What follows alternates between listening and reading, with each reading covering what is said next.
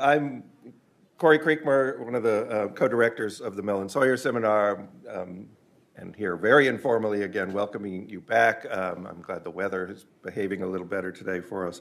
Uh, so thanks everybody for being here.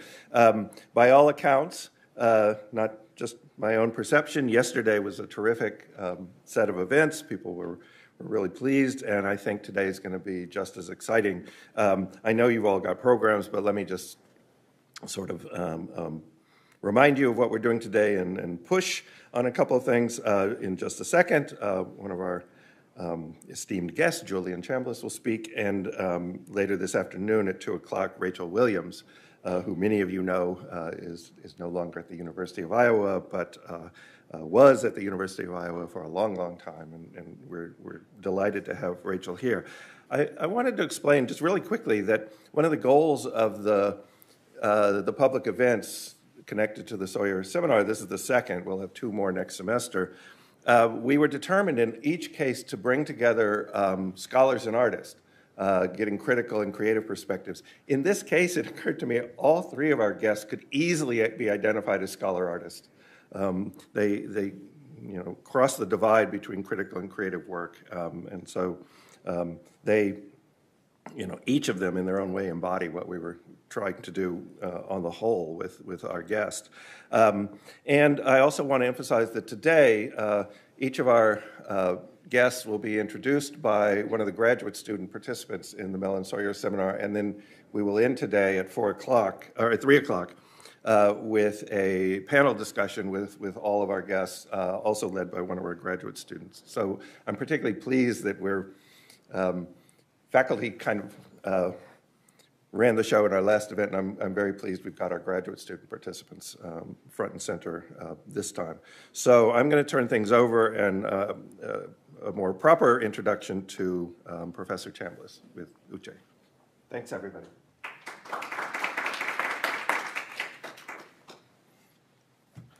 Hi, thank you all for coming. It's my pleasure today to introduce all of you to Dr. Julian Chambliss, who's sitting up here front and center.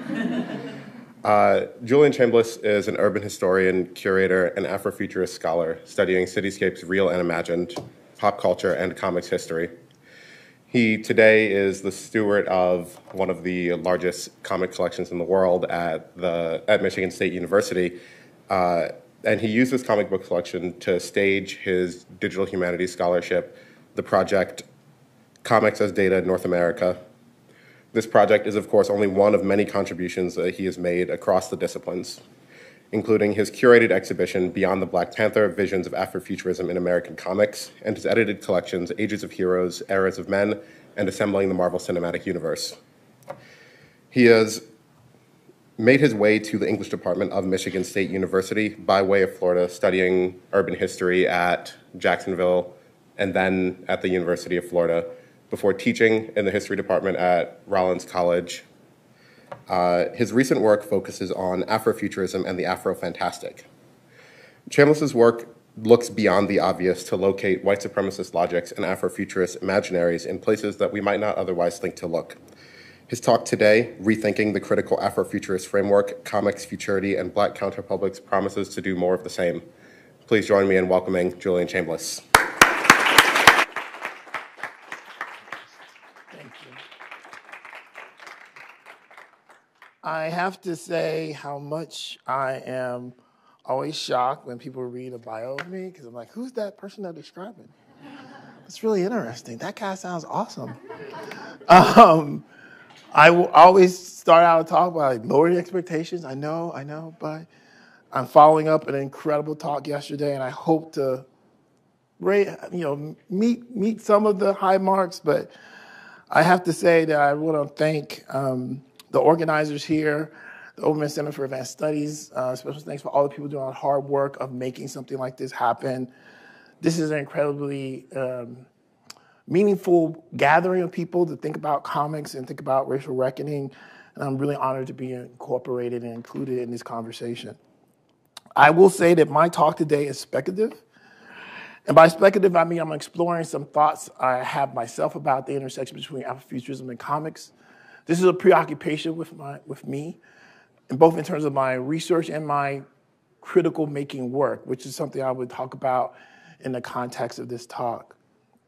But because Afrofuturism is a complicated subject matter, I think one of the things that I want to sort of bring to the fore is that my proposition is that in the US context, I want to explore how Afrofuturism promotes or prompts us to rethink comics production as a practice of futurity and recovery.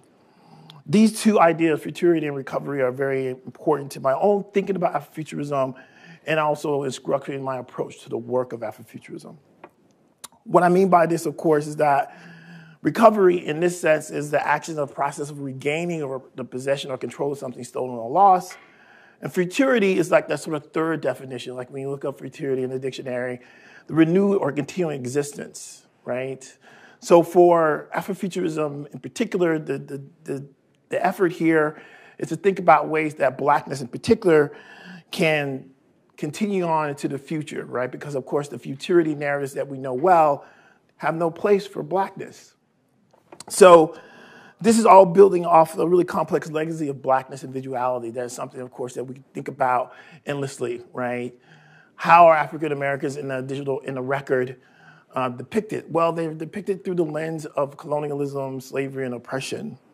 I really hear, I'm inspired by the work of people like Rebecca Wanzo, Qiana Whitted, and the really groundbreaking work of people like uh, Ian Gordon, who have think, thought about the ways that comics have really built, built themselves or have direct legacies to these long traditions of caricature and demeaning depictions of blackness that really characterize how we understand blackness in the United States and at some level globally. The challenge for us, of course, is to think about ways to deconstruct this. And obviously, for Afrofuturists, there's a long, complicated history of theory and practice that comes to bear. One of the key figures that I think is important to understand this is John Jennings. Jennings is a professor at University of Riverside uh, in visual culture. He is advocating and really sort of like framed something called critical race design studies, where he talks about it as a way to un uncover the ways that race intersects with a particular index of understanding discriminatory systems in the world. So the way he, he talked about critical race design studies is this cluster, as this, this diagram that he created suggests, this is intersection, right? It's an interdisciplinary exploration of the ways that race acts as an oppressive force. So, speculative design, cultural studies, uh, anthropology, visual anthropology, critical making, all these are important parts of that system. And all of them have to be uncovered and understood as part of a whole system. So Afrofuturism uh, offers a, a kind of epistemological frame to support the work of understanding how race, the thing that is created in the context of a sort of Western imperial project, operates. This is always the thing I talk to my students about, and it's always the thing I'm thinking about in the context of creating Afrofuturist themed work. The challenge here, of course, is, is married because the definition of Afrofuturism is a complex one.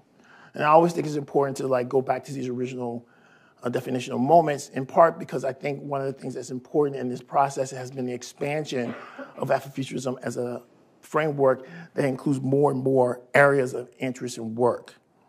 Obviously, Mark Dery's original definition in 1994 is historically specific.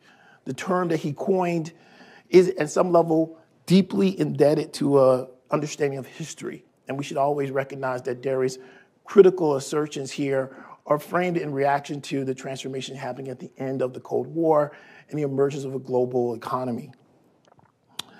Nonetheless, his critique is meaningful because it's layered with the understanding of the Black experience in that Western colonial context. He talks about Black people being descendants of alien abductees, using the experience of the Middle Passage, slavery, and abduction as a sort of framework to understand that alien and alienation so intrinsic to the black experience. He also talks about uh, African Americans and people of African descent ex uh, existing in a sci-fi nightmare where unseen forces of impassable discriminant intolerance frustrate their movements. And of course, we can think endlessly about the contemporary instances of this and the long historical legacies that are built into the ways that black people and black bodies in public space are monitored, controlled, and sometimes dangerously affected.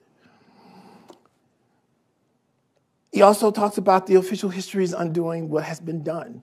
So that fact, whatever contributions made by people of color are almost impossible to be understood. They are not documented, and those acts that are done are overlaid with distortions that perhaps today more than ever become important points of contestation that we have to take into account as we think about our civil society. And then, of course, technology is often brought to bear on black bodies. This point in particular is important because it, it sits at the cornerstone of the way blackness is thought of as anti-technology, in part because black bodies themselves are machines in the narrative of colonialism and imperialism of the Western experiment. These all represent, I think, incredibly complicated sets of historical certainties and observations. They're important, but the definition of Afrofuturism um, talks very particularly about technoculture. But it's also important to recognize that that definition says might, for want of a better term, be called Afrofuturism. What Dery was able to do was to think about the experience of Black people in the Western context and the history that that is attached to it and recognize that black people must, in fact, have something other to say about the future.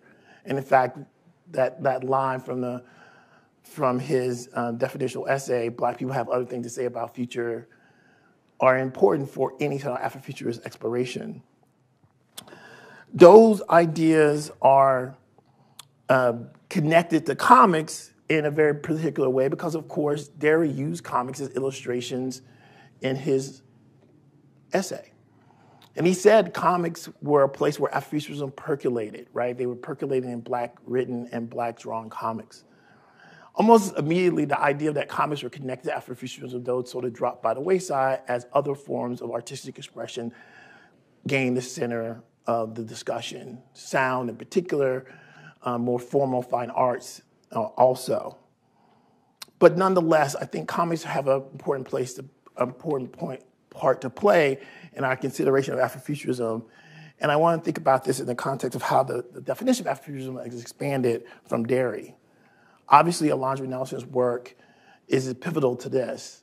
And it's important to recognize while our publications like the social text, especially the social text in 2001, where she sort of introduced the idea of Afrofuturism as a sort of critique of modernity. She talked about it being a way to understand Black Afri- uh, Afro-diasporic artistic production. She talked about it as a way to understand subjectivity and alienation, and it's a black view on modernity. She's doing so actually after having a very complicated set of conversations with a group of people that were a part of something called the Afrofuturist Listserv. And I call attention to this in part because one of the things about Afrofuturism I think continues to be central to its um, importance as a movement is that it does not exist totally inside the academy. Indeed, from the very beginning, Afrofuturism has been a collective exercise of scholars, of artists, of community members theorizing about the nature of blackness. While it's, we can't see the Afrofuturist listserv anymore, if you can play around with the internet Wayback Machine like myself, you can pull up the original landing page. And you can see that the definitions of Afrofuturism that are at play here and the questions that are being laid out back in around 1998 are important ones even for us today. This is an interdisciplinary group of people who are seeking to try to understand blackness in a different way. As they say, the speculation has been called Afrofuturism, cultural production that simultaneously references a past or a, of abduction, displacement, and alienation, celebrates the unique aesthetic perspective inspired by these fractured histories, and imagines the possible futures of Black life and ever expanding definition of Blackness. And I think that is a crucial element here, that the definitions that they're seeking to create are expansive ones. They seek to deconstruct what Blackness is apart from its sort of colonial legacies and the implications of that. Later on, just the next, very next year, Alondra Nelson wrote a piece for Colorline, which is a magazine, where she talked about, um, she said, she asked a very important question why don't we just look at the innovations in technique and communication that can be found throughout the Black diasporic culture if we want to understand Afrofuturism? That piece, Afrofuturism, Past Future, Past Future Visions, called attention to the ways that African-based artists might be using technology and might be using different techniques to tell stories of blackness that remain transformative, affirming, and push us to think about a different kind of future. These ideas are, of course, important for Nelson, but they also become important for us as we think about how Afrofuturism has rapidly accelerated as a theoretical space in recent years.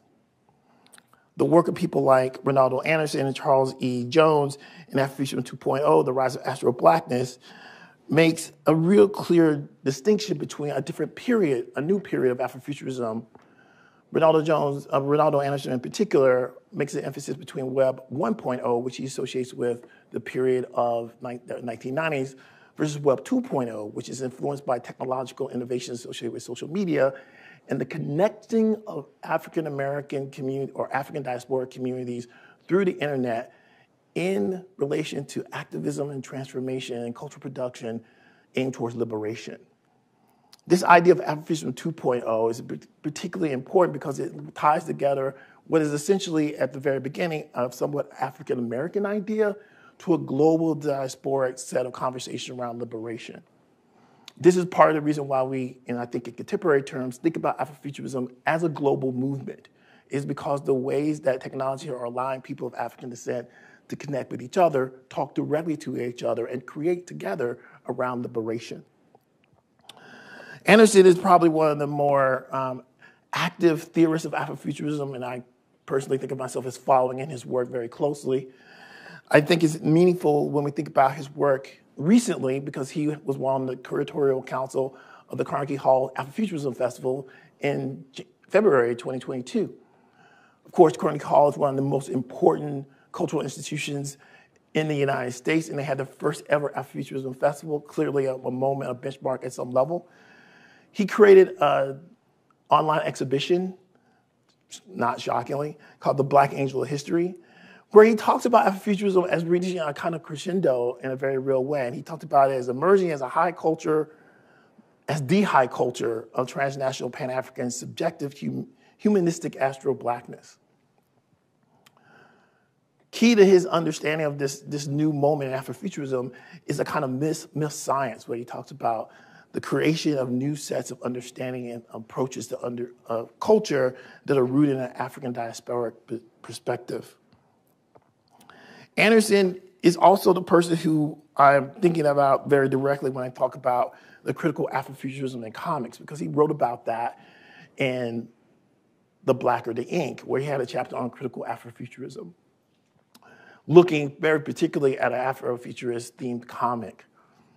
This is the, the piece that, at some level, inspired some of my thinking that led to um, my show Beyond the Black Panther. That and the, the sort of centrality of Afrofuturism in comics and the original definitional element. There are many things that, that Anderson tries to do here, but again, he talks about Afrofuturism emerging as a nexus, growing from, again, a sort of collective experience of African diasporic culture, and he makes a, the modern Afrofuturism is a goes out of the nexus of migration, international and domestic social movements, conflicts, and influence of technology, black music, religion, and literature. He further talked about Afrofuturism uh, in other places as reaching in this sort of new moment, the opportunity to tell different stories across those different fields of endeavor, be it aesthetics, metaphysics, activism, social science, science, and, and, and community. These are the ways that Afrofuturism offers up important sort of um, moments of intervention and transformation. Uh, he goes on further, and I'm quoting extensively here in a bad way, but I think it's important to recognize that Afrofuturism can be located and can establish counter narratives, undermine, and delegitimize the power of the Leviathan. And again, here, as a critical theorist, he is offering up Afrofuturism as his own critical theoretical framework it has the ability, he argues, to lead us to different paths. Ultimately, what happens with Afrofuturism is it descends the Eurocentric approach and constructs and it helps us construct the nature of race and intersections of brown power. And it talks to us about these sort of counter narratives and publics and the ways that whiteness are, are um, depending on controlling the other, all of which are quite crucial to the Afrofuturist project.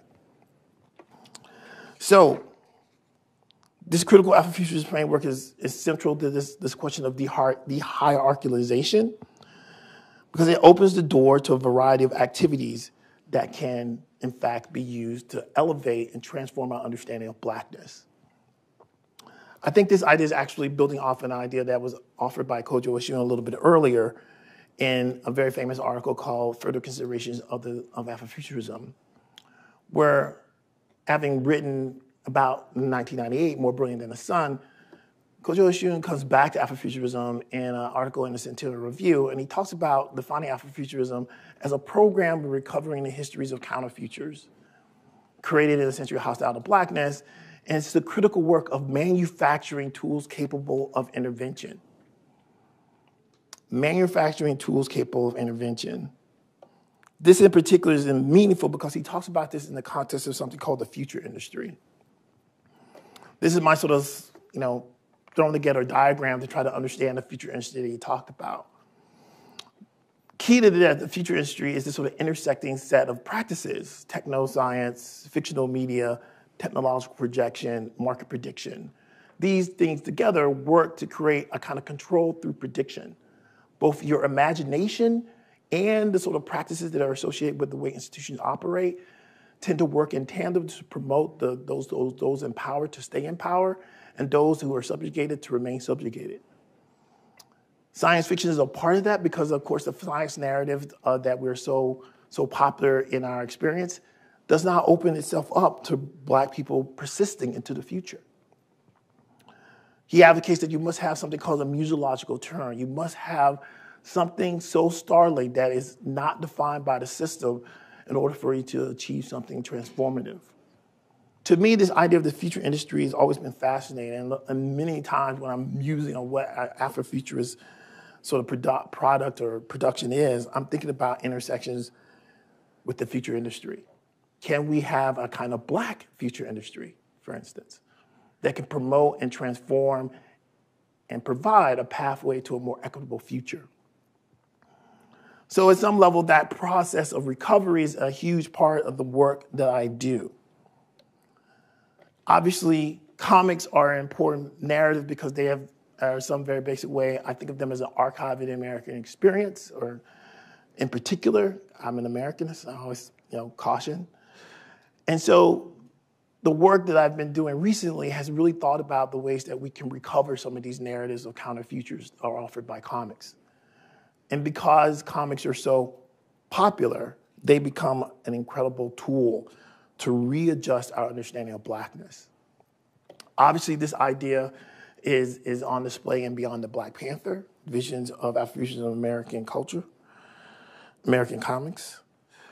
Um, and I approach this with the idea that this, this idea of past innovation and future visions are two in the same. In the show, we actually use this idea, I use this idea to explore all Negro comics, right? One of the first comic books published by African Americans, Orrin Evans, and to explore the idea of Lion Man, who has been argued in literature as a kind of proto, like the Black Panther before the Black Panther. The elements of that story are particular in the sense that they point to a, a, a kind of comic based narrative around internationalism that actually corresponds to the narratives of internationalism that people like W.B. Du Bois are making in the public sphere at the same time. At some level, Iron, uh, Lion Man and the narratives of sort of internationalization and UN-based sort of protection of indigenous people that are buried in that story are the same kinds of narratives that give rise to appeal to the world or, where or W.B. Du Bois asks for UN intervention for African Americans and people of color around the world. So this is a way to think about comics as capturing a kind of forward-thinking futurity that we may not necessarily always align with them. Obviously, in that show, John Jennings created a series of covers inspired by Lion Man, where he takes what is essentially a one story and one issue and moves it through time, accomplishing very much what, what Kodwo Eshun talked about as that musological turn. Each cover of the Lion Man comic that he creates for the show is a Lion Man in a different era, responding to the problems and challenges of blackness related to that era. Perhaps more complicated in some ways is the recovery of characters that at some level, some level much less known. Recently, I've been working on a, a, a chapter in a book that's coming out by Conor Whitted, looking at a character called Neil Knight of the Air. Originally, Neil Knight was a um, World War II era fighter pilot in this comic strip that was published by Pittsburgh Courier. But he very quickly turned into a space age adventurer.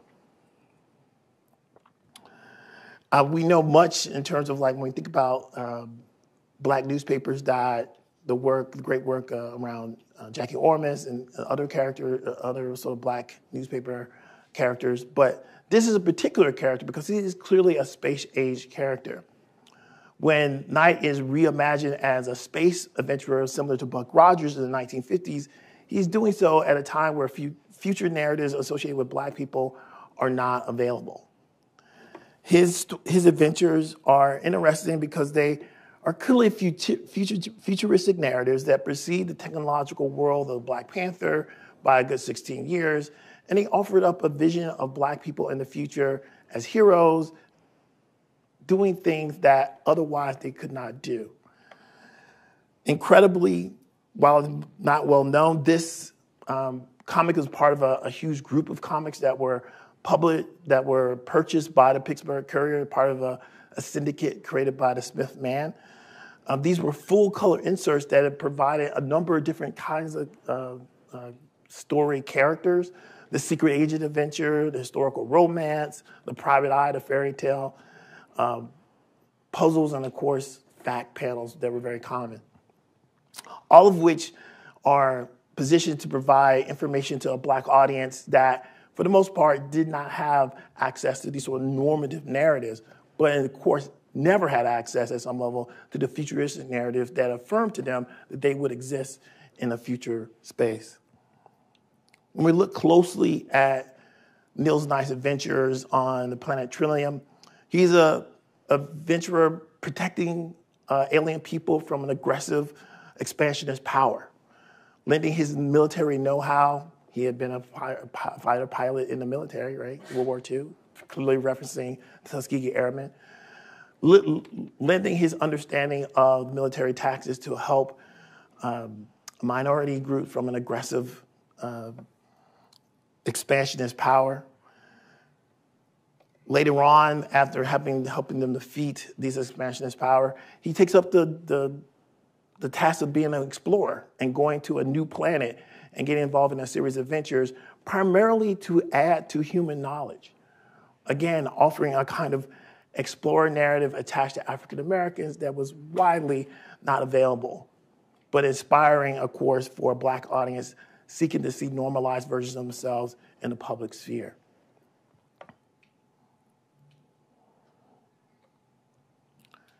While recovering stories like Neil Knight are important parts of the archival work that I do, I think it's obvious that for me, the creation of work around Afrofuturism is also important. If comics are anything, they're the most accessible form of a kind of visual culture that people both inside and outside of academia have access to.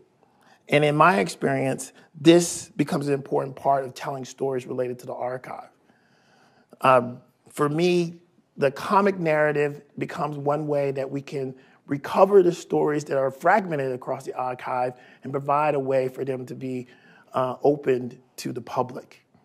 In my previous work, I've worked with community members who are very interested in trying to capture the story of African American communities in Florida.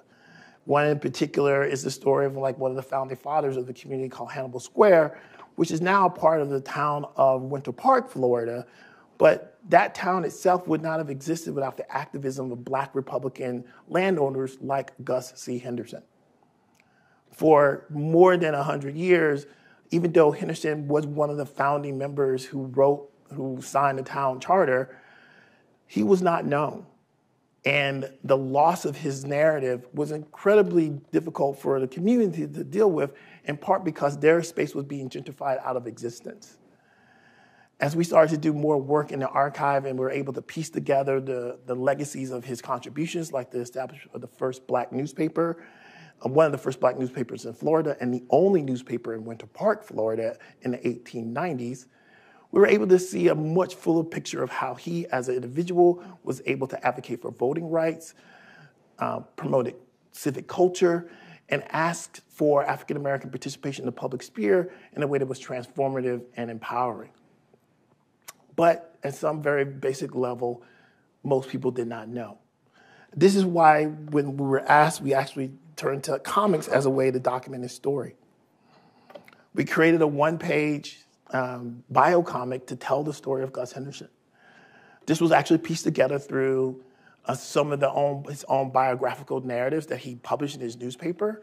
And so as I pieced together the different, different snippets of his own life story, I wrote those up and worked with an artist to create this one-page comic that we gave to the community so they would have something that would be a kind of rallying point for um, their stories of community development and civic pride. And indeed, now Gus Henderson has been added to the sort of like founding father narrative of the city of Winter Park. And he continues to be an inspirational figure for African Americans who are struggling around questions of gentrification in space in a rapidly changing urban environment of Central Florida. These stories of the archive as a focal point and using comics to sort of create community narratives are crucial to my approach uh, especially because the history of Central Florida is one that has a lot of hidden narratives related to Black trauma and Black activism. Currently, I'm working on a secret project, but not secret anymore because I'm saying it right now. yeah. uh, related to the, the lynching death or the lynching event of a man named Oscar Mack. Spoiler alert, he did not die but there is a lynching narrative attached to his story. Mack was a World War I veteran who was threatened by the Ku Klux Klan in Kissimmee, Florida. He was actually a federal employee. It was a, there was a, a contract to move mail from the, from the railroad to the post office.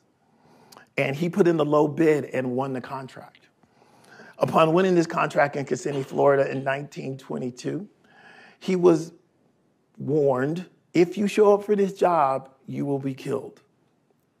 If you show up for this job, you will be killed. The assistant postmaster, a white man, actually gave him a weapon and said, if anyone interferes with you trying to do your duty, you should use this weapon. He had showed up for the first day of work. Everything went fine. He went home that night three men showed up at his house and there was an exchange of gunfire. He shot and killed two men, a third was wounded, and he disappeared. The narrative of Oscar Mack appears in the national press pretty much one way. A Florida man named Oscar Mack was hanged on July 18th, 1922. There are numerous headlines like, like this that appear across the country uh, in 1922 New York, LA, Oakland, in the South, in the Midwest, so on and so forth. Each one of these narratives gives scant accounts, but they make, sure, they make it clear that a man named Oscar Mack was hung on the road between Orlando and Kissimmee near a place called Lake Jennie Jewel. When we look into the records, Oscar Mack is listed as one of the people killed by the NAACP in their annual rec- recordings of lynchings in the United States. But as we did more research on this project beginning around 2013 and then continuing on in bits and fits and starts, um, we were able to find more and more information about the incident that led to sort of confrontation between Oscar Mack and his accusers, and how he may have escaped. Because indeed, while we were able to flesh out the details of the lynching event itself, we were able to trace the names of the people and the families associated with the people who attacked him. We were able to identify the sort of like cause that got the KKK uh, focused on him. We were able, even able to uh, attach um, some motivations of some of the people involved in the lynching to a previous racial incident the year before the much more famous Ocoee riot, where African Americans who attempted to vote in 1921 triggered an anti, an anti-black riot that drove all the black people out of the city of Ocoee, leaving no black people in Ocoee for more than 100 years. In some accounts, they were able to uncover those same people were, that were involved in that incident were also the people after Oscar Mack. And the details that we were able to uncover in the archive, somewhere between 500 and 1,000 people were milling around between July 16th and July 22nd looking for Oscar Mack as a part of a lynch mob that whose, whose goal was to deal out punishment for someone who would dare to interrupt the racial order. Ultimately, though, what we came to understand is that Oscar Mack did not die. His family had a story from their great great grandfather about him having a secret life. And they contacted us because of a web website that we created and let us know that this story that you published on your website, this answers a question we have about our own family. And, we and, and we really want to talk to you about this and get all the, get all the information from you. And indeed, we did do that, and all of this information is available through the Samuel Proctor Oral History Center at the University of Florida, where I work with, with my colleagues there. That's my alma mater, and a great oral history center. We traveled to Ohio, which has turned out that's where Oscar Mack escaped to and changed his name to Lanier Johnson. Spoke to the family, gathered their documents, and prior to the pandemic, we were working on a documentary um, to sort of like tell this story in its entirety. The, the story of his, his the challenges, the, the secret letters he wrote back to his future wife, his, his escape, and so on and so forth. But the pandemic sort of put, put an end to that. But even but before the pandemic, we did were able to sort of attend a re a ceremony where they laid down a new um, headstone for him. This was a, a, a, great moment for the family because they were able to solve the question of um, a kind of internal narrative of, of, loss and tragedy and trauma associated with their, their grandfather. And it closed us closed one door in terms of like questions we had as, as researchers working, working on the case. But one goal for the family was that, that the story of Oscar Mack be a story that could educate and inspire a new generation of people that was part of the reason that we wanted to pursue the idea of a documentary. But because comics are so powerful, we really started to think about the idea of a comic.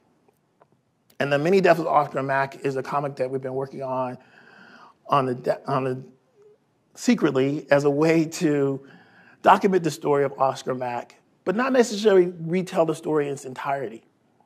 Instead, what we want to do with this, the, the Many Deaths of Oscar Mack is to delve into the sort of metaphysical trauma associated with being black in America, to tell the stories of exclusion and tell the stories of endurance and the ways that black people survive, both from a kind of sort of metaphysical perspective, but also a sort of practical perspective in a fictionalized narrative that can be accessible to many people. Yes, I'm working with some actual professionals because I can't draw, but our goal here is one of transformative storytelling accessible to the public to inspire a kind of understanding of the legacies of race in the United States, but also to, to set a path towards trying to avoid the kind of systemic pressures that lead to the kind of anti-black violence associated with Oscar Mack. I turn to this approach in part because I believe ultimately that comics as a medium offer the opportunity to tell stories about the American experience that are inclusive and transformative, especially when they're taken through that Afrofuturist lens. For me, because of their role in visual culture, comics may be the best medium to answer some of the first questions posed by those participants in the Afrofuturist listserv way back in 1998. Is there such a thing as black technoculture? I think you can see this being played out in some of the comics that are being created by black creators today are recurring speculative and science fiction themes in various genres of black culture production simply coincidences, right?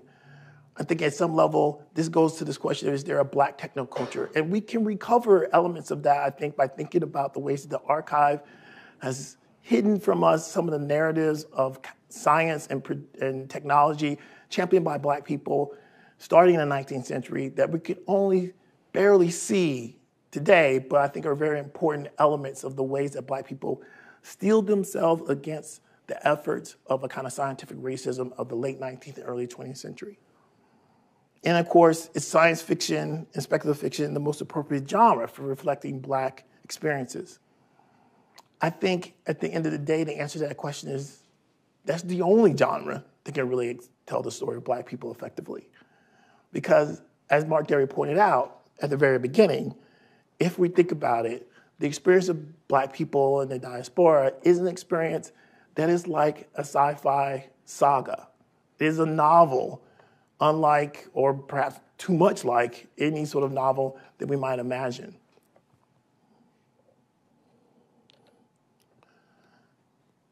I want to say that at the end of the day, while this talk was speculative, I want to call attention to the ways that the, the medium, the comic medium's democratic nature opens the door to moments of mediation that allow us not only to see the consequences of colonial expectations, but work to create that dehierarchical, dehierarch, you know what I'm trying to say, of culture necessary for liberation.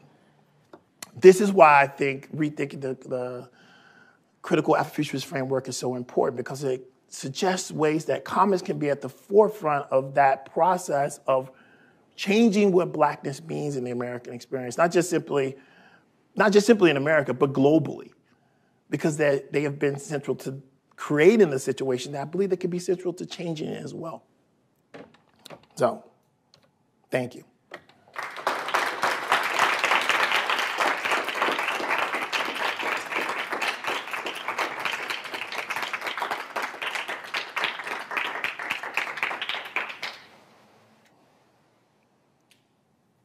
Okay, I'm done. Questions, anybody?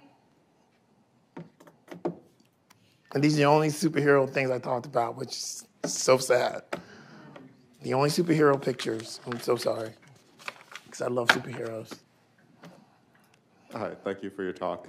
Uh, I found a lot of it fascinating and I'm excited for the comic, but I was particularly interested by the section on futurity and the future industry uh, where you lead in from the discussion of how Afrofuturism 2.0 is tied necessarily to this understanding of Web 2.0, this reorganization of technologies that led to broader interactions in a global sense between black people in the African diaspora. Uh, I know that, is this on? Yeah, it's on. Yeah, it just dropped out. Uh, okay, there we go. I know that a lot of speculators on the like cusp of the future industry are very excited about the potentials of Web 3.0 as a, another restructuring of our life by internet technologies, one that's also represented by a mass of participation in the internet and an intercession of that participation by algorithmic technologies. I wonder if the advent of Web 3.0 is then in some ways calling for an Afrofuturism 3.0. Is there a new frame that we have to use to resist the like ordering of our lives by technology that is still Afrofuturist? Yeah, I think that Afrofuturism 3.0 is the the current discussion. Obviously, in the context of Afrofuturism 2.0 versus Afrofuturism 1.0, much of the assumptions about the use of technology by people of African diasporic descent is that they are using it in in opposition to the to the mainstream. So in the discussions about Afrofuturism 3.0, I think one of the things that we're we're currently sort of formulating is the ways that the the structures and tools of, of the metaverse, for lack of a better term, are going to be accessible for to African diasporic people.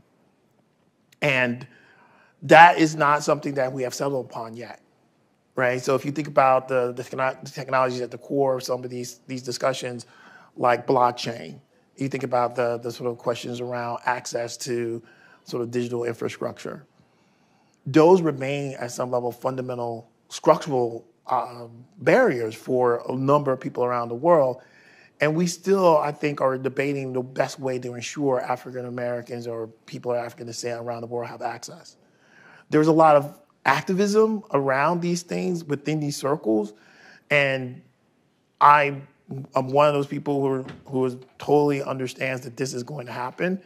But I don't know that, we have, at some level, defined the best set of tools to take up like Kodwo Eshun's approach, the best set of tools that are going to be accessible to people of color around the world to, to ensure they, they reap the benefits of this transformation.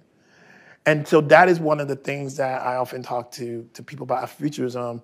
You know, what can you do? There's always a question, well, how do I participate? Well, being better aware of the sort of regulations and discussions about things like cryptocurrency, about you know things like um, web there's a term in my head that's long right now. Um, you know, access to the web. There's a term. The digital divide? No, that's another term, but that's true. it's web equity. That's not the right term, but it's basically the FCC has a rule about how how much access to the internet, and they've been debating about this. Web neutrality. That's the term. Damn it. Web neutrality, right? So, do you have access to the web the way that someone who's richer than you have access to the web? Web neutrality. Like the general thought has always been that we're supposed to be advocating for web neutrality, but that does not that is not the case because of course corporations want to be able to tax people or you know charge people to get better access to web neutrality. So web neutrality is always sort of like floating in the background amongst the FTC around this question of like, you know, access. So that's another one. And when we start talking about um, the metaverse, there are a number of, of creators who are, who are creating digital toolkits and, and creating digital products who advocate for African Americans to participate in that process.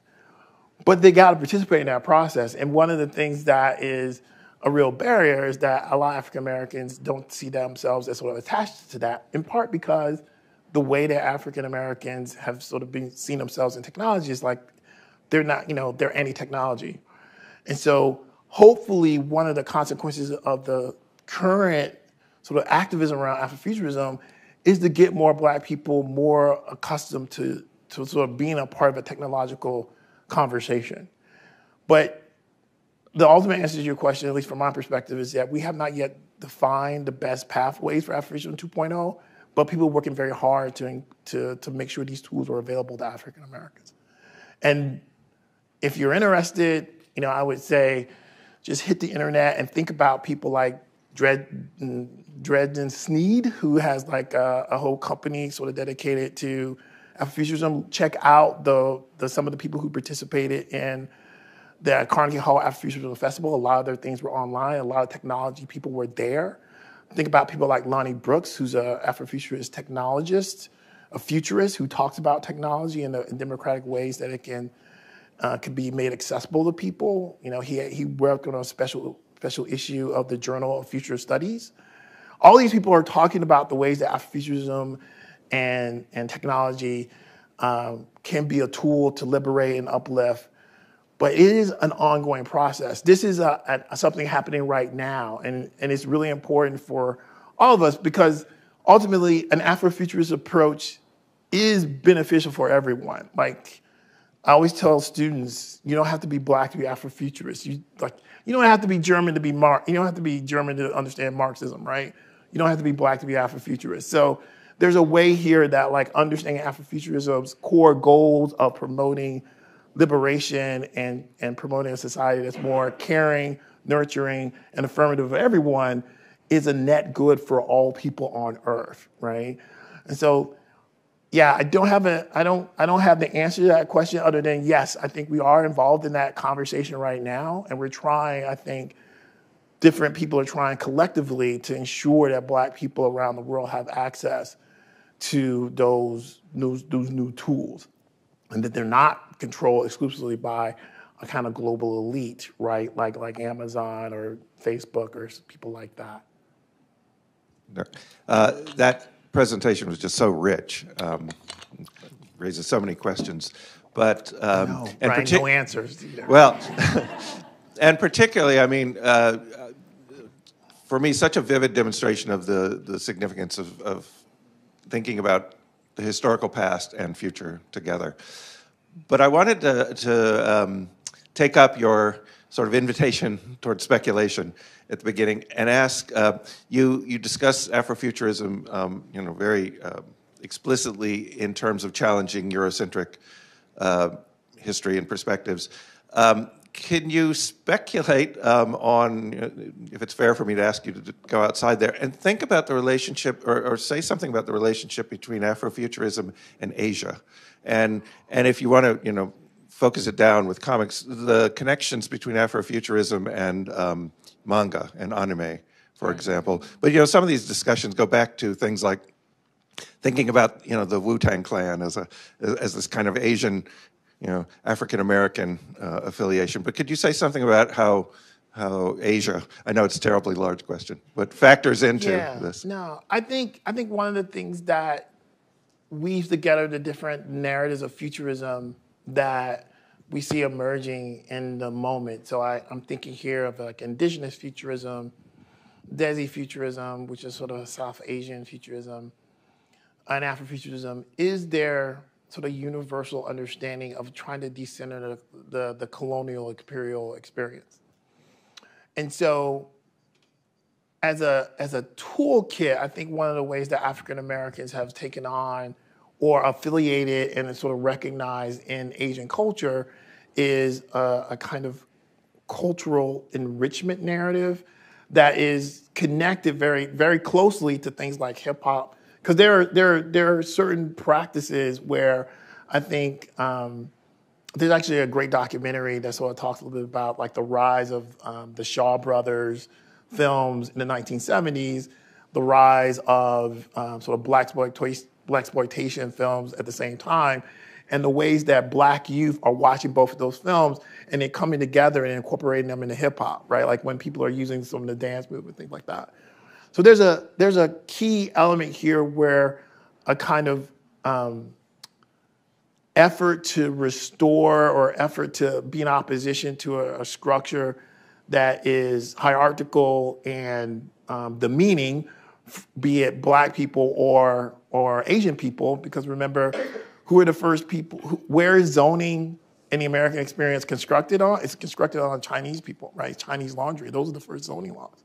So there's a there's a way where like the control and marginalization of uh, the Asian body in the American experience is an important sort of blueprint and practice that's uh, imposed in terms of like creating the policy and practice associated with like segregation and zoning for black people. So for those groups, there is a commonality in terms of like trying to overcome the system. And I think for African Americans, they see within um, the kind of expertise and power associated with like martial arts and the Asian culture, a kind of counterpoint to the assumptions that are associated with sort of European, Western um, thoughts of supremacy, right? And and we can see that with something like, like you say, like the Wu Tang Clan, right? Like, what is the Wu Tang Clan? Like, the Wu Tang's for the babies, right? Like, it's it's it's it is a community centric thing that mirrors a lot of the same practices that Chinese communities had in terms of their own self help, self help, benevolent society, and so on and so forth. So I think there's a, a way where like just simply being opposition, being in opposition to those hierarchies that that marginalize, demean, and control is a commonality that that'll weave across them. And as we get these different kinds of futurism, as I say, and they're exploding at some level. Um, I have a colleague that studies Armenian futurism, and for Armenians, you know, she talks about like this is a way for them to get, yeah, at some level, move past theorizing Armenian identity just simply around the genocide, right? That that there's a way here that we have to think about: is there a future, a future Armenian identity that can flourish and sustain and be transformative? And I think, interestingly enough, she puts a lot of emphasis on female writers creating space to think about identity and, and community in a different way. And so I think that's a way that we can try to understand the commonalities across these sort of futurist movements. Hopefully that kind of answers your question, but maybe not. I said it was speculative talk. I never lie. I'm making it up as I go along. Uh, Thank you. That was just an extraordinary talk as a digest of the field and then the way you're advancing it. So thank you. Um, I had a question uh, about um, what felt like a provocation towards the end, where you're saying speculative and, and science fiction is sort of an especially valuable genre to pursue for Afrofuturism. And I'm just wondering, it, it strikes me that there are, and I don't know enough about the comics world, but there are a number of black creators who are turning to horror and, and the Gothic to sort of recuperate the past, rethink the past. I'm thinking of like in, in literary fiction, Victor LaValle and Mat Johnson, uh, Jordan Peele's films. And Nope has that weird combination of sci-fi and, and horror. So I just wondered, could you talk a little bit more about Afrofuturism and, and horror as a, as a resource for contemporary creators? I have a colleague, um, Kinitra Brooks, who talks about Afrofuturism as a theory of time. As a, as a theory of time, I think one of the important elements of Afrofuturism is recovery. But as she points out, one of the things that needs to be accomplished in that, that process of recovery is figuring out what to let go of. And so the turn towards what uh, John Jennings refers to as the ethno-Gothic is about trying to understand what were the tools that were employed by people of African descent to survive the traumas associated with colonialism, imperialism, and its legacies.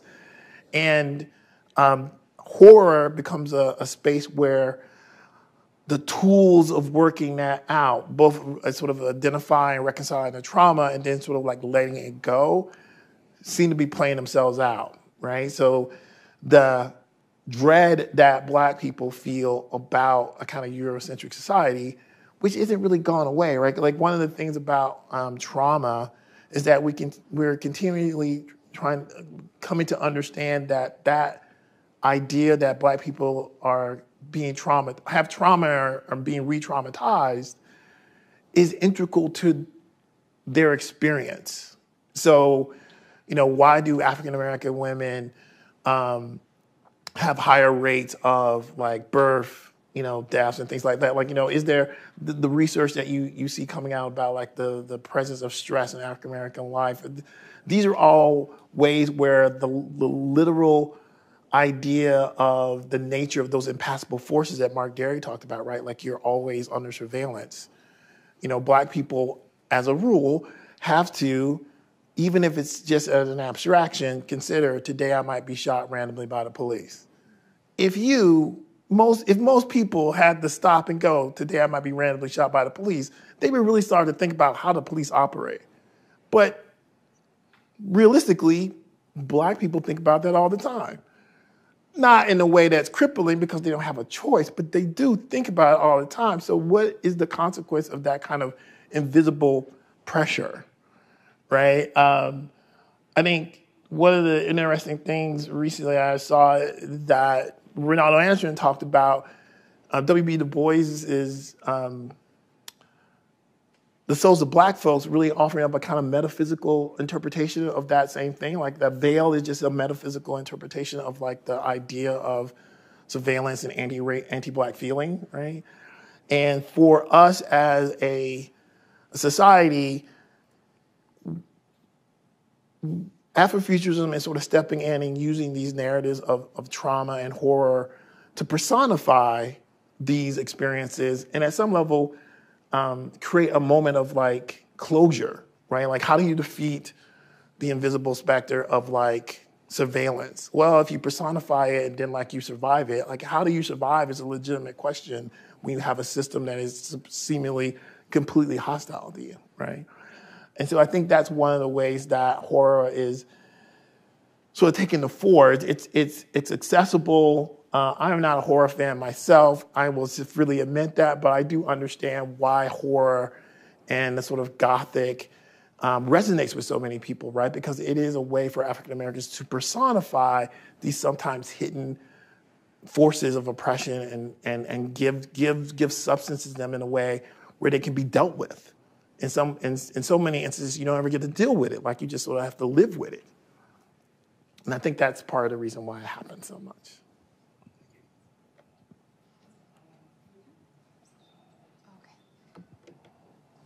this is the, la- the last question Hi, thank you so much. Uh, so I, have been working with the Iowa Women's Archive here in University of Iowa and with uh, Friends of Martin Luther King in Ambrose University. We were, we will, no, we were, sorry, we were building lesson planning for elementary schools here in, in some districts in Iowa. And well, we encountered a lot of challenges. First, it was really hard to find archives, pictures, uh, primary sources around uh, African American diaspora. We worked with scholars here that was very helpful, and we made amazing lessons, and they're going to be in schools next year. And then we're moving forward to high school. And I never thought that comic could be like an amazing way to introduce subjects about you know, we're starting talking about civil rights movement. So um, I, want, I wanted to ask you if you had any experiences in Florida with comics in school, right? Oh, yeah. So use as material for learning history and, and critical history. Yeah, we, we uh, over the years, we've done a lot of things with comics in schools. Obviously, um, Martin Luther King is a prime example of that. March is another great example. Um, I I've used the Martin Luther King bus boycott story, right? Like it's a it's a great comic, right? We're working with local history, right? Ah, you were talking right. about maps. So and... so the challenge there is you kind of got to know the local history, and then there's the, you know, can you find an artist? Like so. In the cases where we, you know, part of the reason I started making comics is because we have this. F, I'm trying to say, I'm trying to uh, give the community something they could see. You know, in the documents, you, could, you, you get one version of history. So, for instance, there are almost no pictures of the early, the late 19th century black communities in Florida. Some of them will work. No pictures. You only have people sort of like remembrances that are passed down through time. So when when when people are describing it, you know, you, you're basically getting an amalgamation. Okay, well, let's draw it, right? Let's let's use and there've been great projects, sort of recreating digital Harlem is an example of that.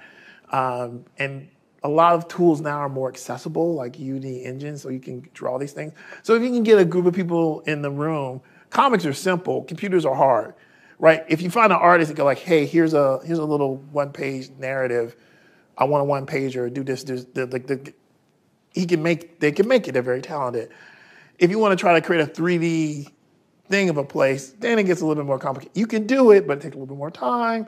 And so comics is super democratic, right? Like everyone can sort of like get into that. And so as long as you have the documents and you have um, a, the time, you can make comics. You can actually have kids make the comics, actually. You know, and I would really emphasize giving kids the opportunity to do it, actually, because they can tell stories from their perspective that can really resonate with people.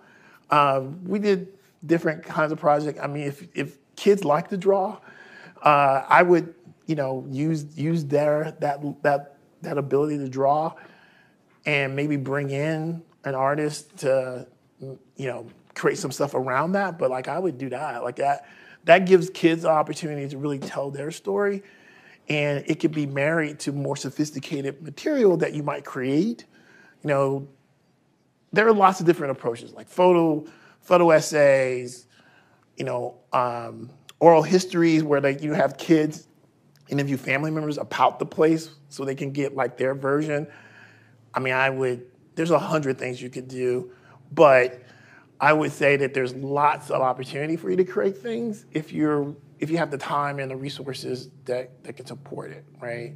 There's a lot of history in people's shoe boxes under their beds. Like, and I, and I mean that very deliberately. So many communities have pictures and little little snippets. If you were to bring those out, you know, it might be a picture of someone's aunt at their, you know, birthday party, but they're in the street. And so there's a picture of the background, like, okay, well, that's how, how I actually looked. And you could piece those together and tell really interesting stories. So those are things that you know I've had experience doing, but you can do it. You just have to have the time and the resources to, to do it. Hopefully that was helpful. I'm not sure. Yeah, it was. Okay, everybody, it's time. It's the time. to eat. Thank you so much, Julian. It was a fantastic presentation.